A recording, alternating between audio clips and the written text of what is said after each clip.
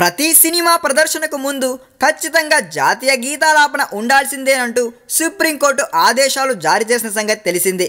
అది కూడా జనగణ మనకు ఎటువంటి మార్పులు లేకుండా యథాతథంగా ఉండాలని కూడా చెప్పింది కోర్టు. ఈ ఆదేశాలు చాలామందికి నచ్చడం లేదు. కానీ దానిపై ఓపెన్గా విమర్శలకు దిగాడు రామ్ గోపాల్ వర్మ. సినిమా హాల్స్లో మాత్రమే జాతీయ గీతాన్ని ఎందుకు పరిమితం చేయాలి? ఏదైనా షాప్లోకి ప్రవేశించే ముందు కస్టమర్లను వీడియో చూసి లోపలికి రావాలని ప్రతి షాప్ వాళ్ళకు ఎందుకు చెప్పకూడదు? అంటూ వర్మ ట్వీట్ చేశాడు.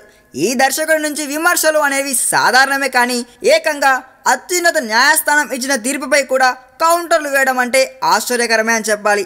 అయితే వర్మ ఇక్కడ చాలా బాగా తెలివిగా ట్వీట్ చేశాడు.